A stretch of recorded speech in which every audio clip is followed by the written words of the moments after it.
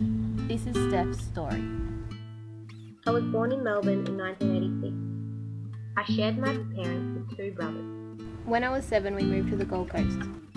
It was here I finished all my schooling, making many lifelong friends. After graduating and working, I reached a crossroad. I knew my life would take the path of travel or the path of study.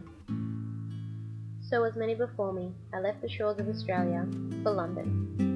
My adventure took me through 12 different countries, where I experienced amazing cultures. Fun was had, friends were made.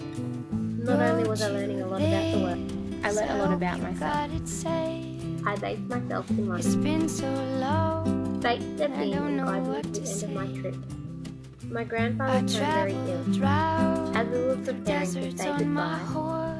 We welcomed my nephew. Jokes aside, with being away, I had a lost wanna some friendships and gained some new ones. You know, Working a at little and night going out a lot said I had to go. I took a good hard look at myself and realised I needed direction. said you I was need taken to a me site that was amazed on at everything. sunny Everything she had said had led up to where I was now. I knew then it was time to study. My name is Paul Burns. I was born in Hong Kong to Scottish parents. I lived an expatriate lifestyle for 11 years in Hong Kong, in a minority community in one of the world's largest cities. When I moved to Australia, I began to realise my upbringing was rather unusual compared to the children in the new country I had to adapt to. I struggled to answer the question, who am I? Regular visits to the UK and familiarity with British culture didn't help either. This was a time of self-discovery. I entered the workforce at 14 to find a job that suited me. I accepted a job at McDonald's. I wasn't used to the work situation which lacked the pastoral care evident at school. My unpleasant co-workers crushed my expectations of developing maturity and independence through work. Determined to make my time at McDonald's successful, I came to realise the meaning of respect, values and friendships because I had to work hard to earn and receive these aspects of the work experience. My education began in Hong Kong at an international school, allowing me to accept and value other cultures. At 11, I moved to Australia, leaving everything and everyone behind in the transition from primary school to high school. My new school was small, monocultural, and rural with the motto where everyone is someone. The village mentality it produced could make or break you. Fortunately, I experienced easy acceptance, making many amazing friends, most of whom I'm still in contact with.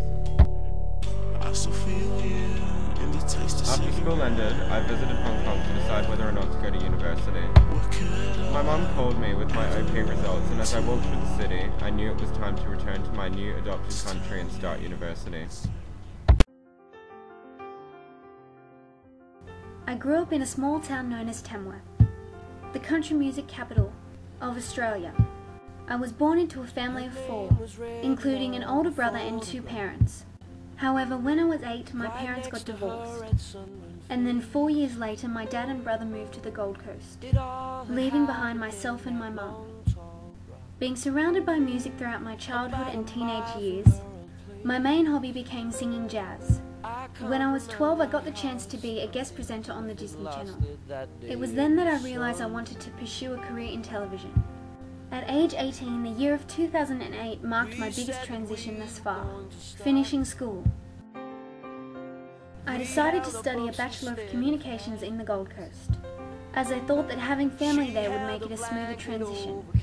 So I applied and got accepted into Griffith University. Moving seven hours away from home has presented many challenges and opportunities. The dominant challenge for me was leaving behind friends and family.